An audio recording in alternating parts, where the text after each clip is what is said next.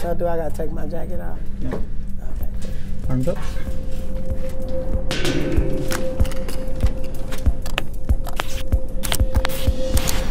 Is your name Tiffany Haddish? Yes. Were you born in Los Angeles, California? Yes. So you're an LA girl. Yes. Just like her? Not like her, but yes. And you started your career as a stand up comedian, correct? Yes. So you're confident that you're funny? Yes. Funnier than me? I don't know. You starred on The Carmichael Show, correct? Did I star on it? No. Co-starred? Would you call that your big break? No. Are things just gonna keep getting bigger for you from this point on? Yes. Are you nervous right now? Yes. Ready to take a lie detector test? Yes. I'm not that nervous. I'm excited. Are you worried we'll find something you're trying to hide? No. Is there anything you want to admit before we begin? I have to pee. And I might need to take a number two. First up, let's talk about your life. You used to work in customer service for Alaska Airlines, right? Yes, Alaska Airlines, that is correct. Would you say that you were good at customer service? I would say I'm I'm excellent at customer service. Do you think you're the type of person who would get swindled into joining a cult? Yes and no. It depends if it's a cute guy. What if it was the Illuminati? Hell no. So you're not a part of the Illuminati? No, I talk too much. I tell the truth too much. they, would, they would never.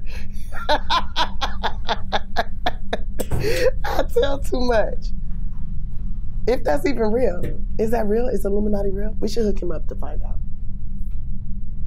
本当に日本語喋られますかはい、日本語が少しわかりますか Can you tell a joke in Japanese? ににえ、 You've become quite successful over the past few years. Would you say that that success has changed you? I don't think so. Would anyone describe you as a diva? No. I don't think so. I haven't thrown phones at nobody or anything. Not yet, anyways. What has been your most ridiculous green room request? My most ridiculous green room request? Yeah.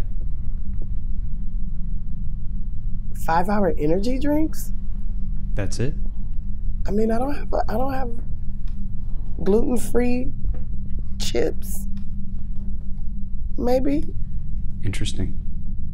they bring. I asked for gluten free chips, and you know what they bring me in certain states? Tortillas. Straight up corn tortillas. Well, where they do that at? Places that don't have gluten free chips. You ever tell a joke at a bar mitzvah? At bar mitzvahs. Multiples. Clean jokes? Clean jokes. Yes. And I was an energy producer. That was my title. Would you tell us one of those family friendly jokes right now? uh, family friendly joke? Yes. Um, my name is Tiffany, like the diamonds, but I don't have no diamonds. I wish I did. Maybe they should call me Iffany. Like if and I had money, I'd be Tiffany. That's very funny. That's what I would open with. Have these family friendly jokes ever led to someone dying? Yes. I didn't kill him. I didn't kill him. Let's be honest. I didn't kill him. The energy, the electricity that he was, the excitement. But he died on his own. He killed himself. I just danced. Okay, he didn't kill himself. But I was dancing and with him, and then he fell back, holding his hand over his chest, with a smile on his face. He didn't die there at the hospital. Would you say he died happy? I like to think so, yes. Do you ever Google yourself? Yes. Are you happy with what you find? Most of the time, yes. Is there something about you that people will be surprised to find out? That my room is junky? Yes. All the time? It's been the last two years. My bedroom looks like a tornado hit it, honey. Like, it looks like an episode out of Hoarders. It's bad. I have to sleep on top of my clothes. It's, it's quite depressing, actually. If someone were to categorize your hoarding tendencies, they would say you're a stage. I would say like a stage two hoarder. It's okay. It's depressing. Maybe stage four. He made marks over there. What the fuck does that mean? Now let's dive into your career.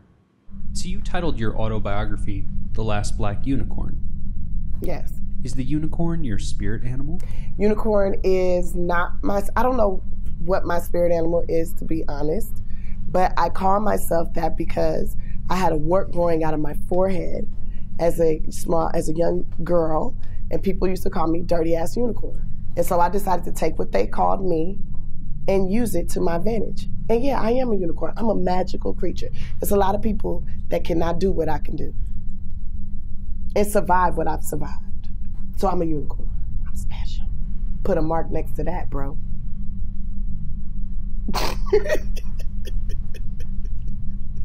You starred in the movie Girls Trip. yeah. Well, no, I co-starred in Girls Trip. Did you feel awkward shooting that grapefruit and banana scene? No, that grapefruit banana scene was super fun to shoot.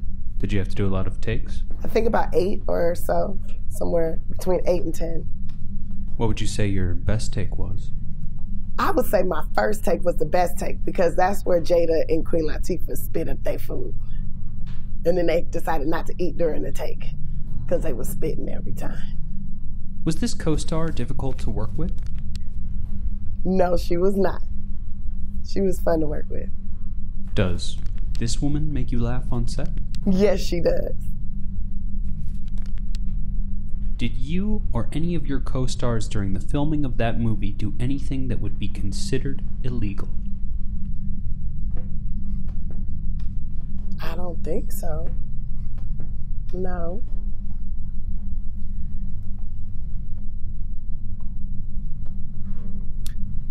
Well, that's legal now.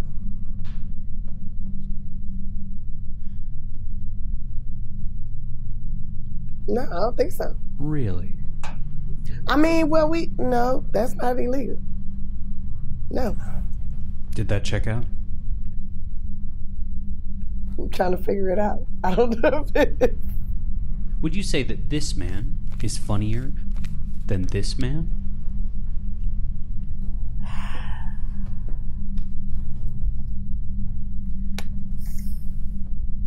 Did I break the machine? No. Uh, I don't know. I couldn't. I couldn't call it because one has a bigger vernacular than the other.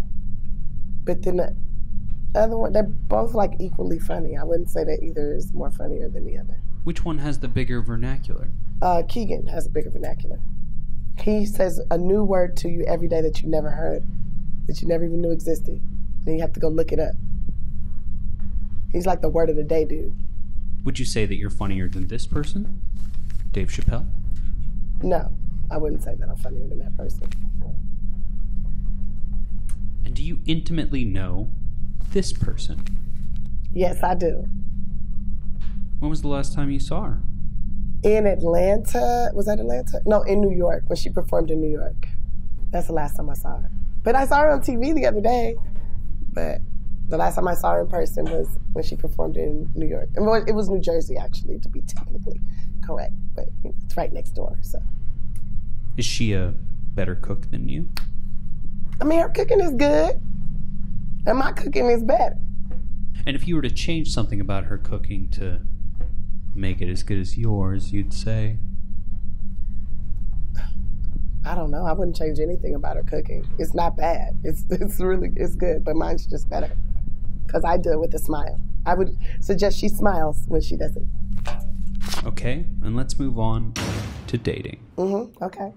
Are you single? Yes. Do you enjoy dating? Yes. Would you ever date a fan? Yes. Have you ever dated a fan? I'm gonna say yes. I'm not sure, but yes, because I think anybody that likes me is a fan. Period. Are you comfortable with paying on the first date? No. But yes, but no. Because I've done it, but I don't like it.